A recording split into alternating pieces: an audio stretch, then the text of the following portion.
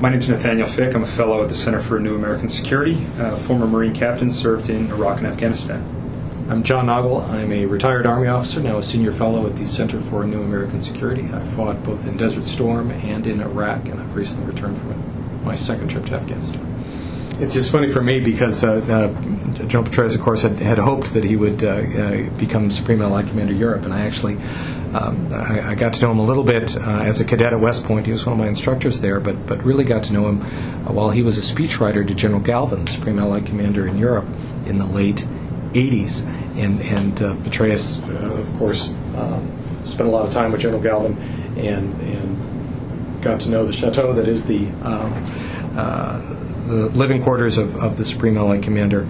Uh, Europe, and and uh, I think he and Holly were, were uh, very hopeful that he would get to, to return there, not as a, a speechwriter, but uh, in command, and instead um, he he, he, gets to try to turn Afghanistan around. Mm-hmm. Um, an extraordinarily difficult task. Uh, Petraeus has been pretty clear himself about the um, difficulty, the degree of difficulty of, of, the task. That he thinks it's going to be even harder than Iraq. Although, uh, as I indicated, I think there's there's some some pressure, some lessons learned from Iraq that, that will, will make the, the, the process perhaps uh, move more rapidly. I hope, but it is. Um, an extraordinary task to ask of this man. I, I have to say, uh, nobody ever got smart betting against Dave Petraeus.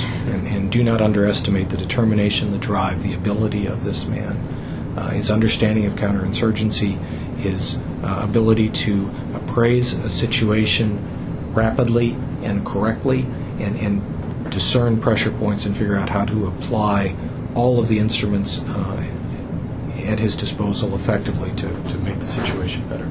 Just look at the preliminary steps that he's taking here, pulling together an assessment team of experts from across fields, not not military experts, tacticians, and strategists, but uh, development and governance experts, Americans, non-Americans, and uh, and putting them under the under the leadership of of H.R. McMaster, uh, and saying, think hard, no ideas off the table, and and let's come up with uh, let's come up with a plan.